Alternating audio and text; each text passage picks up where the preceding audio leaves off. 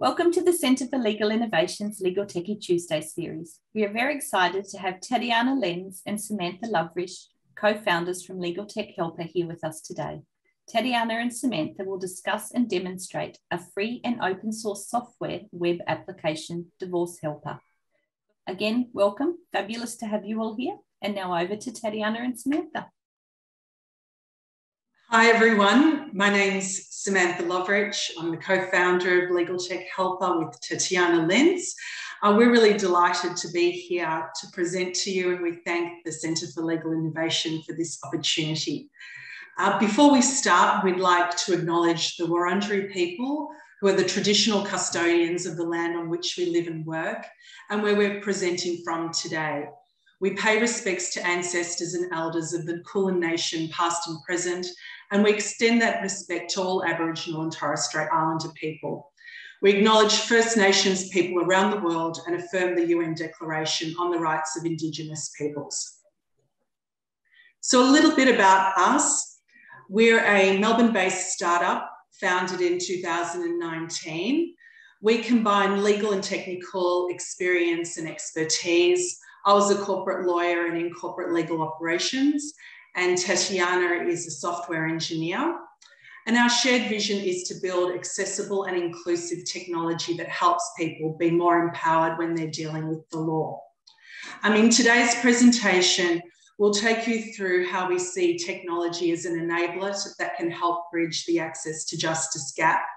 And we'll demonstrate to you our web application, Divorce Helper, as and also illustrate how it was built using human-centered design principles, agile methodology, and free and open source software. And we'll also provide some tips and tools at the end of the session around how you can design and build your own legal products. So we operate in two markets. We build products for businesses to offer to consumers. So the business to business to consumer market.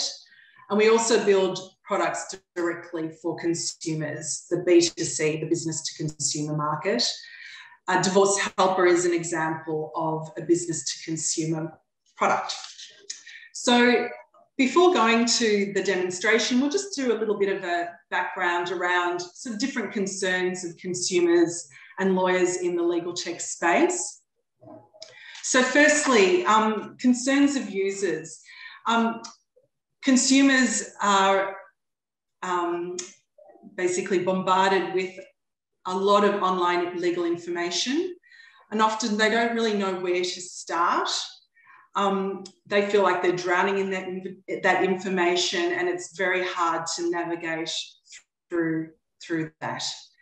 Finding targeted online legal information for free and anonymously, which they can act upon in a way that's not overwhelming, can be a challenge and understanding, you know, what's my next step and the pathway or the course of action they should take may not be very clear to them. For ordinary people wanting to understand, enforce, and defend their rights, there can be a lot at stake. You know, this is my life that's being affected. And the emotions going through a legal process can't be underestimated. You know, it's often an experience that consumers didn't seek out or expect to go through. So, those sorts of life experiences like family breakdown and divorce, infringements and fines, employment um, discrimination, dismissal, bankruptcy, these are huge kinds of events in people's lives. And with some online legal tools, lawyers may be imparting a lot of information upfront and asking the consumer for personal information to establish eligibility or for client intake purposes. The consumer can be unsure as to where all this is heading. And on the flip side, the concerns of legal professionals. Legal technology has been traditionally aimed at improving the way lawyers work to, you know, from matter management and billing management to keeping track of and assigning work and improving operational efficiencies. But what about directly addressing the legal needs of legal consumers? I think it's fair to say that there's been some reluctance by lawyers to build online tools for consumers for fear of crossing that line from giving legal information to being seen to be giving legal advice and the regulatory issues that may flow from that. And there's also concerns around return on investment and basically the responsibility of keeping that information up to date and also whether those tools actually convert website visitors into paying clients. So when we're looking at automating, we'll go on to the next slide here in the quadrant around value and complexity. So what are the areas that may be worth automating or digitizing? What kind of legal problem is worth the time, money and effort to automate? Really the first step in the exercise is to identify repeatable work or queries that could be done more efficiently to free up time so that you can focus on high value and high complexity work. And really, as part of this exercise, the class of problems you probably want to focus on first are the golden triangle, oh, sorry, the golden quadrant in this, in this diagram. So this, this bottom quadrant. It's the low value, low complexity work, or where the client has low legal need, um, by which we mean they're not vulnerable or disadvantaged, and where the volume of work or the frequency of work is high. So if we go to the next slide, the access to justice problem. We've included here a quote, we'll go to this slide, from the recent Law Council of Australia paper in which they support self help initiatives as a key solution to meeting legal demand from the missing middle. And, you know, really we question, you know, if careful considered advice is only available to the moneyed few, is this real access to justice? And are organisations that serve those with less financial means stretched to the point of not being able to provide services to those with no, most need? You know, it goes to the very heart of the legal system. If access to justice is only available to the few, how is it just? How can people have trust and confidence in the rule of law and the administration of justice? It's a philosophical question that we're all familiar with. So, why use technology? Community legal centres and legal resources are stretched, and eligibility is limited to those with greatest need. Our aim is to help the missing middle. So, those people who don't qualify for legal aid but can't afford a lawyer and are missing out on legal help. Technology enables legal services to be scaled up from one to one, so the one lawyer to client relationship that we're very familiar with, to one to many. So, where technology is being used to scale up and reach many more people and bring the costs down of delivering legal services. As we know through the pandemic, which has accelerated this, people are, are living their lives online and doing so much more digitally. So technology is obviously just absolutely key. And intermediaries, the role of intermediaries, those people who are the, not, the so-called non-legal professionals who are helping clients, social workers, um, admin staff, intake staff, those people who could be using technology tools to help clients with low literacy or low legal capability or digital literacy or those who don't have access to technology. And we just see a really important role that intermediaries can play in this space. So for Legal Tech Helper, our focus is on the consumer's experience of a legal system they often don't understand and which they often have to interact with at a time of turmoil. turmoil. We aim to gradually build their knowledge, confidence, and trust.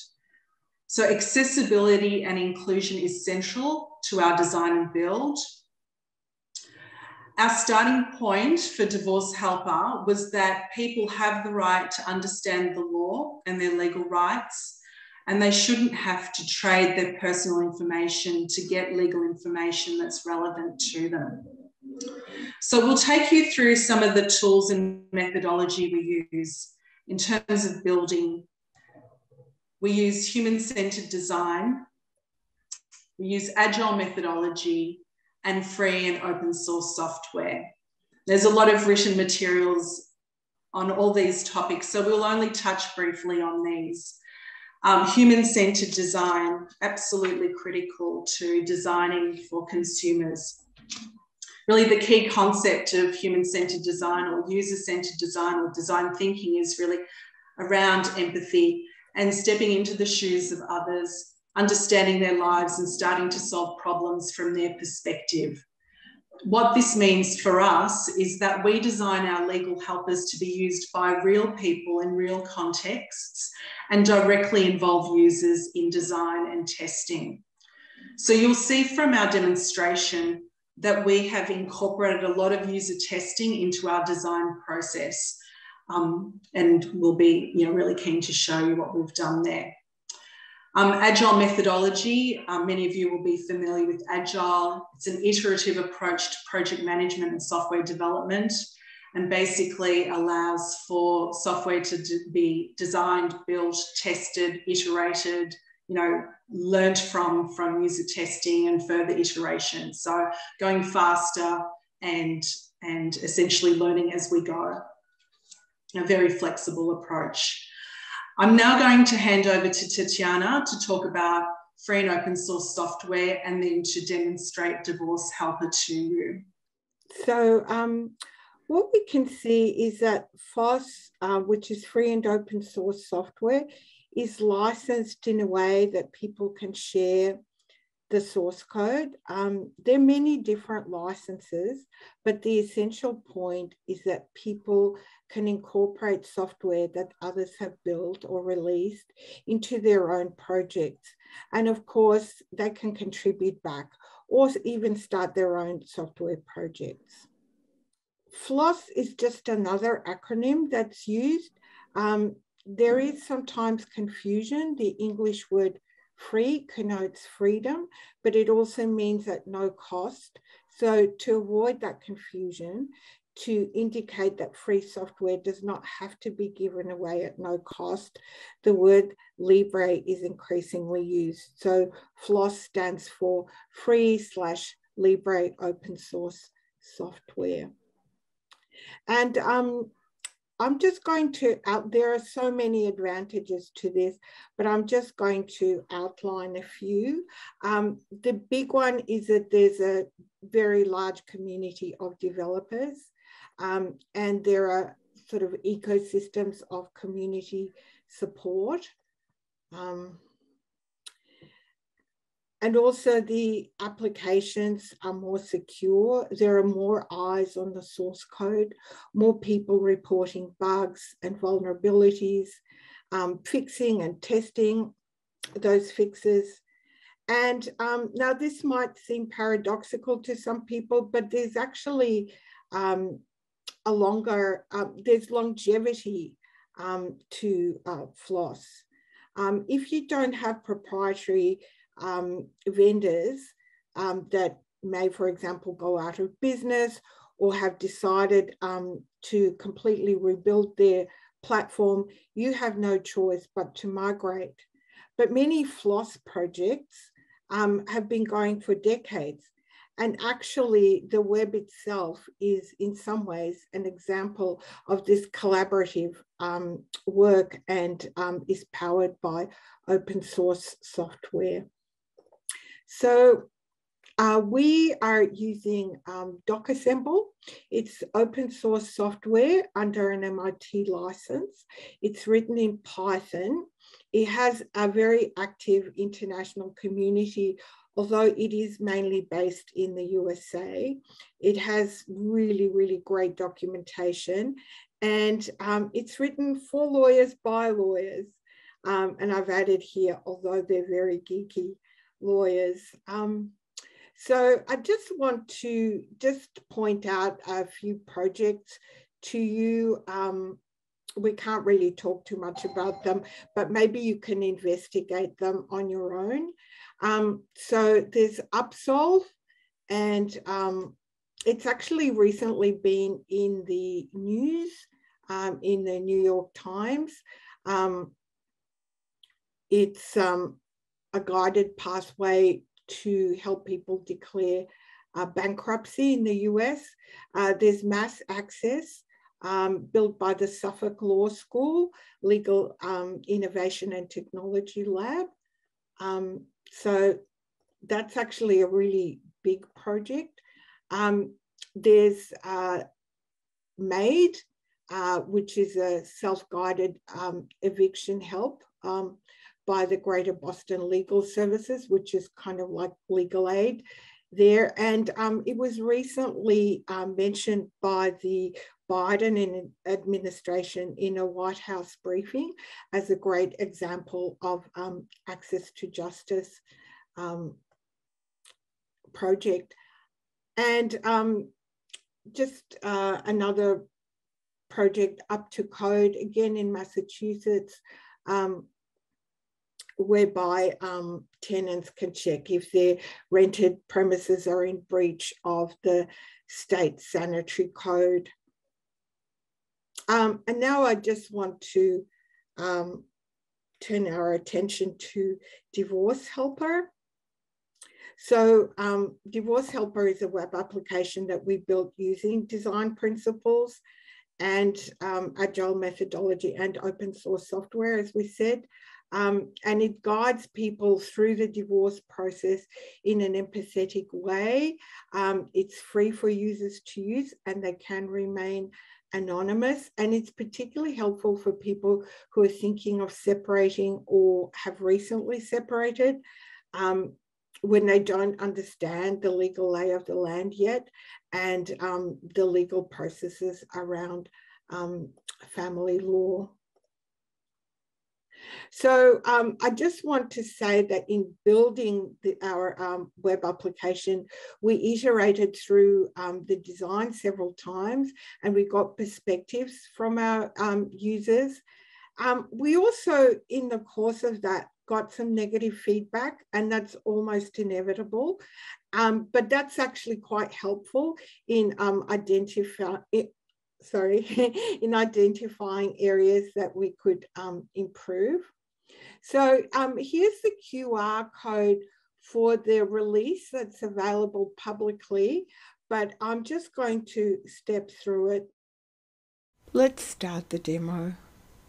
If you go to legaltechhelper.com.au, uh, if you go to the news section and scroll down a little bit, we have the link here to Divorce Helper. Um, so as you can see, it's a clean, uh, minimal user interface. Right away, we tell the users that we will give you legal um, information about divorce in Australia. And um, because it's a web application and it's available on the web, it's really important to identify the jurisdiction. Uh, we, we, we let the users know that um, this is not legal advice.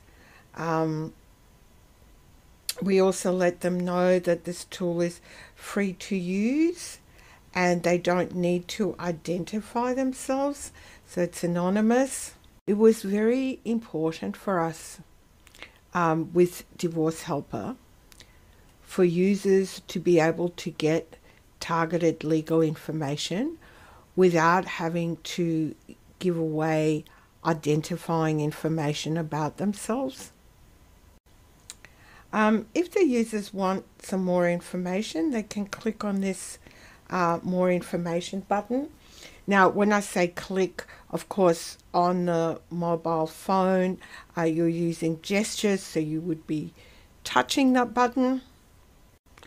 And he, here you can see the difference between legal information and legal advice, um, explained a little bit for the users. This difference, um, of course, is very clear to legal professionals, but it's not clear to your average consumer. So it's really important that we provide that information to the user. And um, I just want to note that um, this is um, a certain design pattern that we've used over and over again in this application. Um, the user receives some information and, and um, or maybe they get asked a question And then, if they want some more information, if they choose to click this button, they'll receive uh, more information. And this helps um, to not flood or overwhelm the user with too much information. And it also accommodates different styles of navigation. Some users want to race um, through the uh, web application to get an understanding of the whole process. Um, others want to take their time and take in the details. They don't want to miss anything. Also, another design pattern is that we've tried to keep the navigation really simple. So we have these two buttons, continue and more information. And um, of course, we have the top navigation bar, but we'll look at that a little bit later. So this all helps uh, with reducing the cognitive load on the user. So for the moment, let's just um, click on the continue button. As we come to this page, um, we say before you start, you should uh, be in a safe environment. And this is alluding to a couple of things. Um, of course, family violence, um, first and foremost, but it's also um, a kind of prompt for the user to consider their physical environment. Um, for instance, they might have children who might be um, in or around their immediate space and they may want to consider how using divorce helper might affect them. Uh, we also give a rough estimate uh, of how long it might uh, take to go through this guided procedure, so 15 to 20 minutes. Um, again, people are very used to transacting all sorts of um, all sorts of aspects uh, of their lives online and um, on their mobile phones, but it's just good for them to know at the outset that they need some dedicated time. And we also give permission um, for the users. Um, we tell them if it feels like too much, it's okay to leave and come back when you're ready. Um, and lastly, on the page, we're um, asking them, Are you feeling safe now? I'm just going to answer no for now, just to give you an idea of how we immediately respond to that information. So we give the users uh, some um, quick information that they can action immediately if they are in fact um, in an unsafe or even violent situation. Now, um, just to give you an idea of how it looks on a mobile device, I'm just going to be using um, Chrome Web Developer Tools. And I'm just going to be um, looking at a layout on a mobile phone. I'll just um, undock this um, so you can have a better view. So on a mobile phone, they can of course um, use these links to make actual phone calls. Here, here, here. Um, and as you can see, they've got um, an exit button here and also the same quick exit button um, in the top navigation. So the button is always in the right uh, top corner and um, it's also pretty bright orange um, so that it doesn't get lost on the page. And I just want to say that um, it's pretty much um, a standard design pattern now for um, sites dealing with family law um, and especially those dealing with family violence to have a quick exit button. Now, I'm just going to continue, but I just want to also just say that um, A responsive layout um, is pretty standard these days. So it means that the web application or any web page for that matter should render well on um, a mobile device, uh, like a tablet or mobile phone. And um, here's an interesting statistic that I looked up recently. Um, smartphone usage has reached over 80% of the world's population. So that's 80% of humanity on this entire planet are using uh, smartphones. So um, this is really important. But um, let's um, continue along here. Now on this page, we get a notice that this application, um, the version that is public, publicly available, um, was built before the merger of the Family Court and the Federal Circuit Court. Um, there is a newer version, but it's not publicly available yet. So um, as a user, we're just going to acknowledge this message telling us effectively that um, directions and legal procedures have changed in the meantime. We'll just continue along and um, now I really want to talk about this screen. Um, through our user testing, we actually found that users were saying that we jumped in too quickly into explaining um, the legal aspects of divorce. And one of the things that we needed to change was to acknowledge where people were at. So that's part of the empathetic component. We needed to acknowledge the range of emotions people might be experiencing. Um, we added the screen, and conceptually, it's quite simple. There's a dark cloud and raindrops that are maybe reminiscent of tears.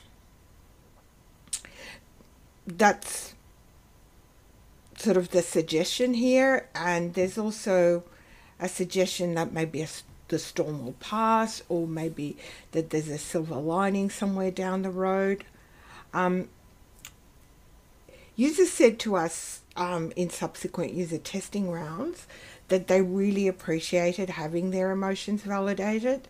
And um, often when they were going through this list, um, you know, here, anger, sadness, regret, or relief, because some people are relieved, um, they would identify that that was something that they had in fact experienced. Um, now, here we go on to acknowledge that um, the whole process can be stressful or confusing or take up a lot of their time. So we had people kind of emoting during user testing. Yes, it does take up a lot of my time as they were going through the application. So, as I said, it's an important empathetic screen but it's also important in terms of building trust. Um, the user is more likely to trust that they will receive um, information that is of value to them, and it also positions the web application as a tool that can be trusted. And this can manifest in a couple of ways. Users can be more likely to answer questions and um, they may not give up halfway through and they may be more likely to heed the targeted information that they've been given and action it. Um, so as I said, this is actually quite an important screen and in some ways we were actually quite surprised just how important it was to the users. Okay, so going on now, we're now starting to um, give some information about what divorce means. Um, and so we've literally framed this information. Um, we've put an eye here and a sort of distinctive green color to impress on the user that this is a little nugget of information. Um, and as they go through the application, we like to what we term kind of sprinkle information throughout the course um, of the application, um, interspersed, of course, with, um, you know, um, questions that they may be answering. And um, of course, as they're answering the questions, um, they're getting uh, information that's more and more targeted to their situation and their particular circumstances. Um, and here again, we see this design pattern of giving the user some information, but um, things like the legislation, the Family Law Act, and um, you know which court deals um, with family law matters is tucked away in this more information section. So, you know, we don't even use words like um, federal legislation, for instance. We um, just say that um, it's Australian family law and that it applies throughout the whole of Australia. Um, we've had to find ways to explain some of this in a very simple way.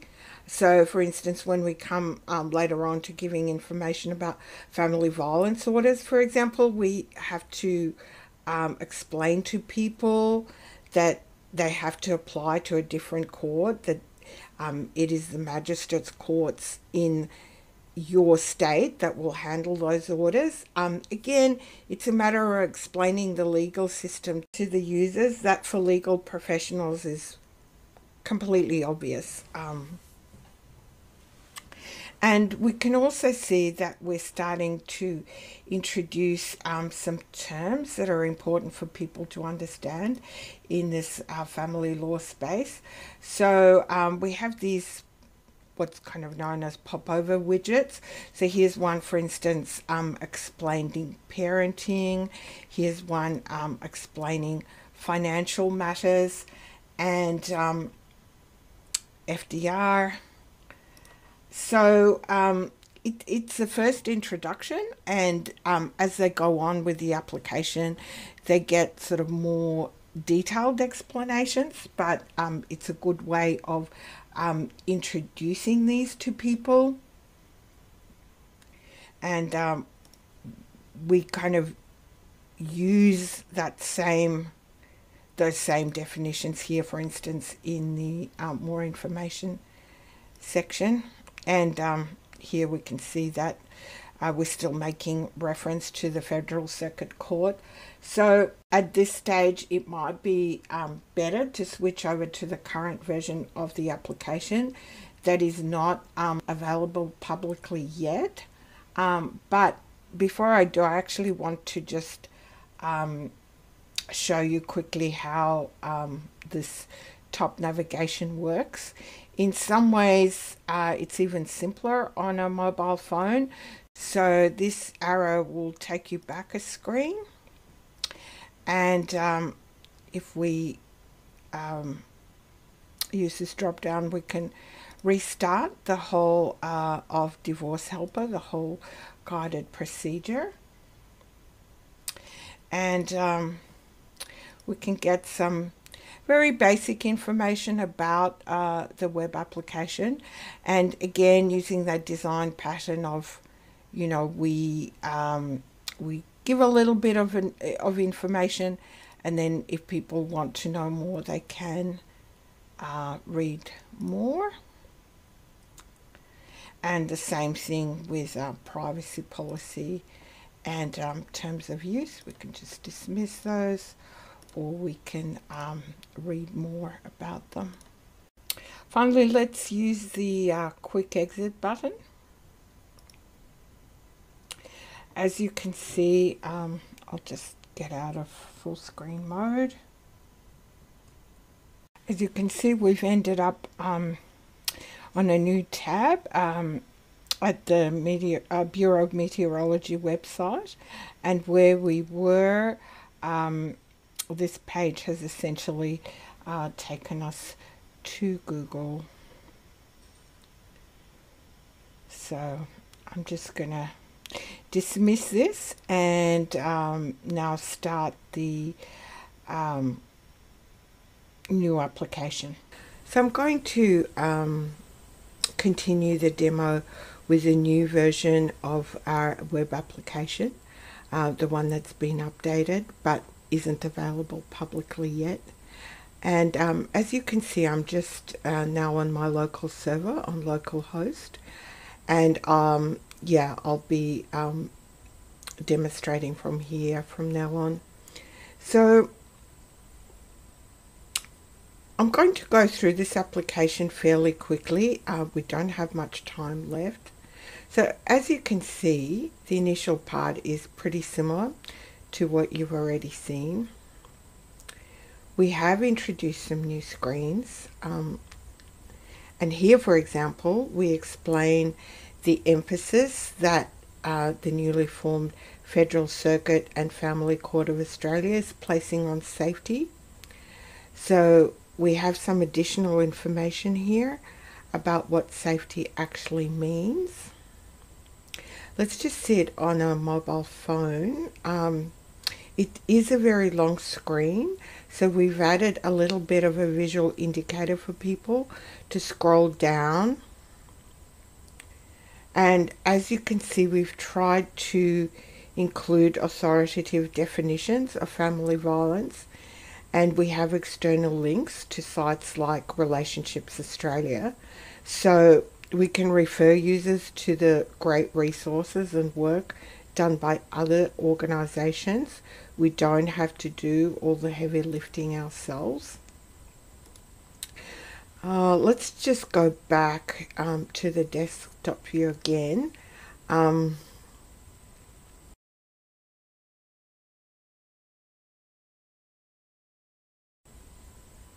the user here is um, again visually primed to understand that this is an important bit of information and we are introducing more terms to them uh, like arrangements for the children.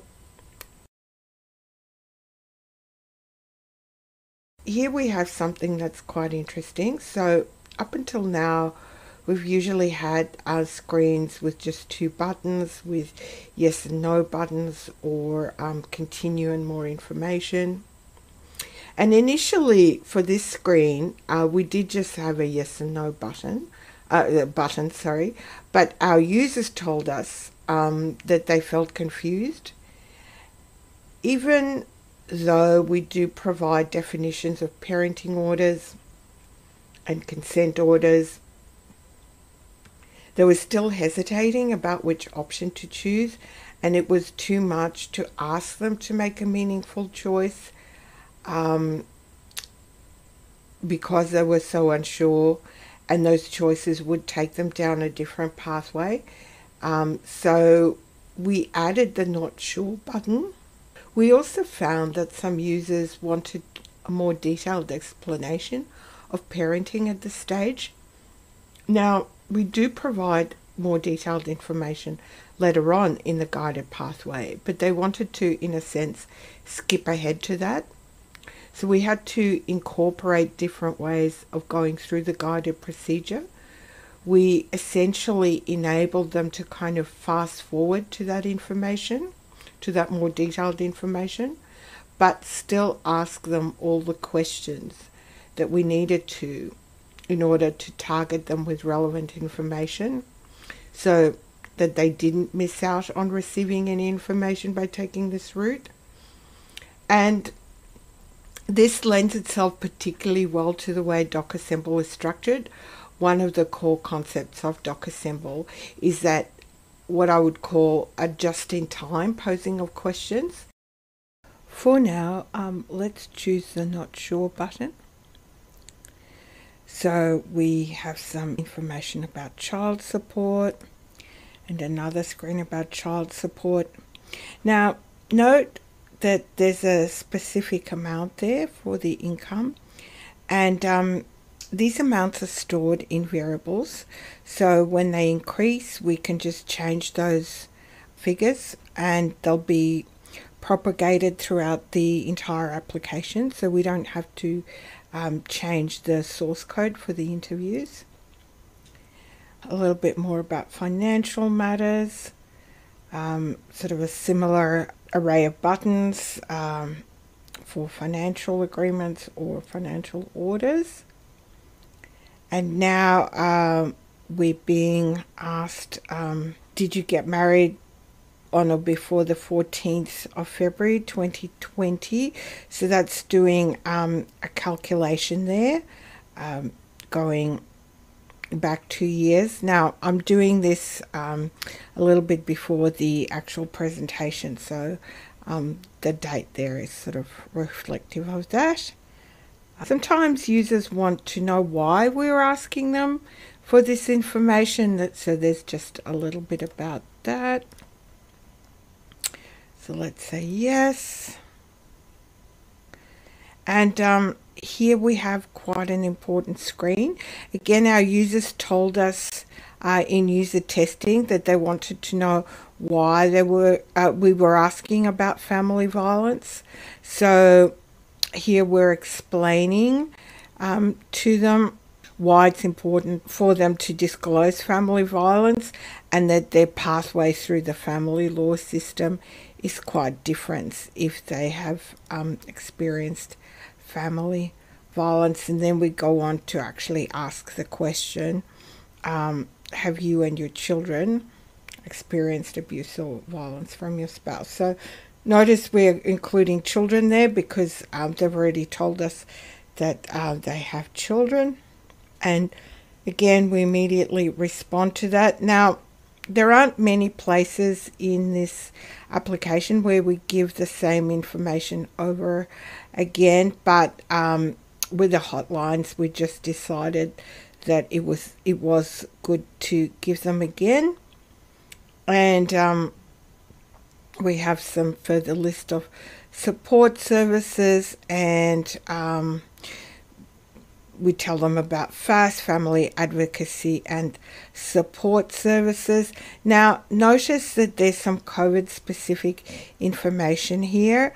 Um, so that's also driven by a variable. It's essentially a flag. And, um, you know, hopefully one day when the COVID pandemic is over, we'll be able to reset that flag. And here we're being asked about which state or territory we are actually in. So I'm going to choose Victoria. So then I actually get a list of this targeted information of services that are um, available in Victoria. Some more. So we're talking about family violence intervention orders, um, which are specific to Victoria. And um, and if I go into more information here, um, we have various links. So, for instance, um, a link to the um, Victorian uh, Magistrates Court that um, gives us some more information about the orders. We've got the VLA, the Victorian Legal Aid Service, and we've also got um, things like um, the Victorian Police, um, the Family Violence Protection Act, which is a state act. Okay. So now we come to, I'll just close some of these other um, tabs. Uh, now we come to the main screen where users can um, drill down to um, topics that um, they're interested in at this particular stage of their separation and divorce uh, process. Now, obviously, as family law practitioners will know, uh, that's the big topic there. There's quite a lot in there. Uh, but for this demo, I'm just going to go through the divorce um, application process very quickly. So we'll just start um, to see if you can apply for divorce. So I'm, I'm just going to um, just step through these. So, are you an Australian citizen? Yes. Has your marriage broken down? I'm not sure what that is. Read a bit about it. Decide yes, my marriage has broken down. Um, have we been separated uh, on or before that date? That's actually a year and a day ago. So, yes, we've been separated for that long. And then I get a message um, that I can apply for divorce in Australia, and there's a bit of recapitulation. You have told us this that you're an Australian citizen. Marriage has broken down. You've been separated for 12 months and a day, and so you qualify under the Australian law.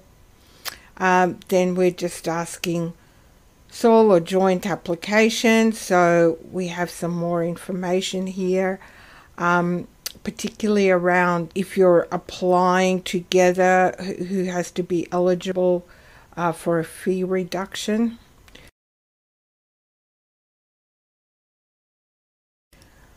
Say I was born in Australia. Do I have a copy of my marriage certificate? Yes. Um, is your marriage certificate in English? Just for the purposes of this demonstration, I'm going to say no.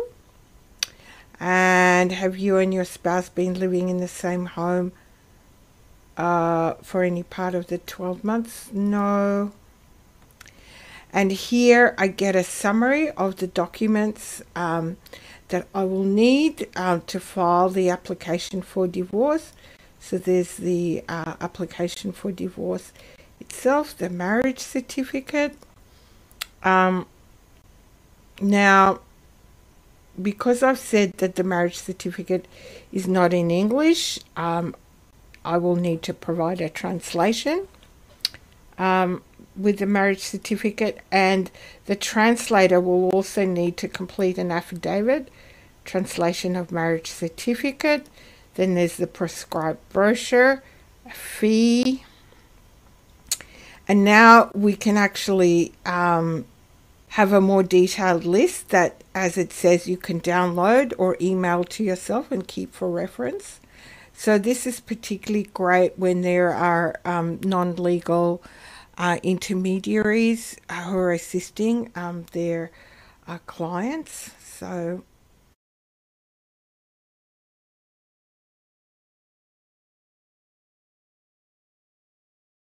We've got the checklist and we've also got uh, more information um, about the documents that I needed uh, with links on uh, more with more information or where to download them from.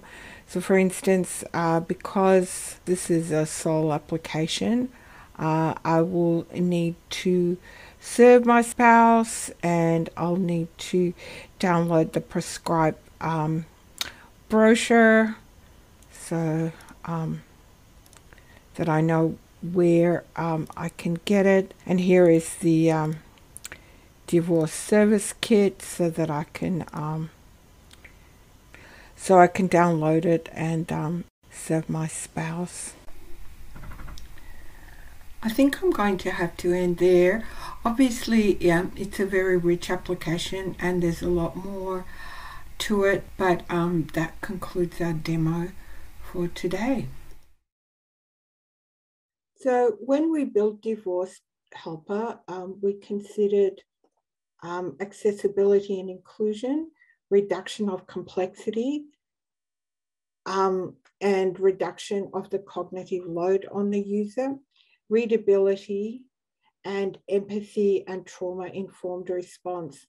Now we're kind of running out of time, so I was going to talk uh, at a bit more length, but I'll I'll just skip ahead um, so that we have time for questions. Um, I'll I will just mention um, we've um, released on GitHub um, uh, the automated readability indexing, uh, which helps to reduce the complexity of the language. So if you want to check that out on GitHub, um, that would be great.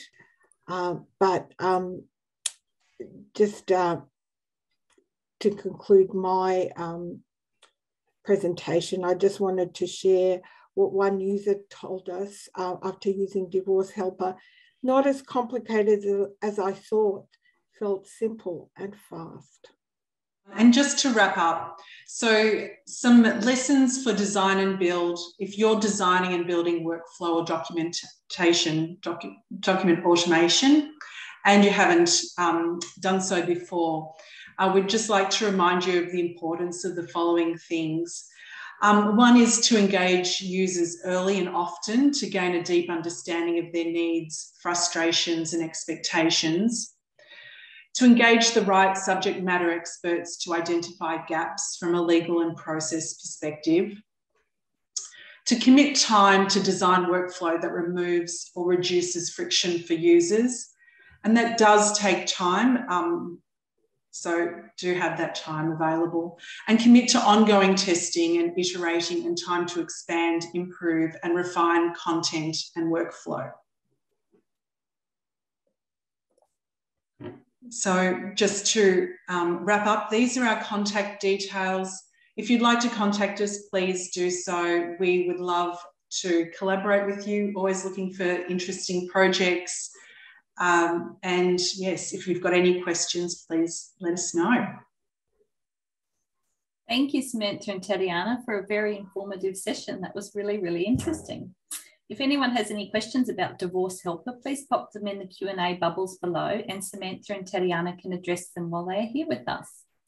It was really interesting to hear about the benefits of using free and open source software and how Divorce Helper allows consumers to gain a rapid understanding of the legal process around separation and divorce. So it doesn't look like there's any questions at this stage, um, so we might draw to a close. If anybody has any questions after the session, you can contact Samantha and Tatiana on the details on the screen. So on their website, um, via email to Samantha, on Twitter, or via LinkedIn. Um, a huge thank you to all of you who have attended today. As you know, the Centre for Legal Innovation is very much focused on these types of webinars, this type of information sharing, collaboration and experience exchange. We are all about practical solutions. There will be many more webinars coming up in the Legal Techy Tuesday series, so don't forget to follow us on LinkedIn, Twitter or Facebook for announcements. We look forward to welcoming you back to one of our events and thank you again very much for joining us today. Thank you so much, Samantha and Tatiana. Thank you. Thank you. Bye, everyone.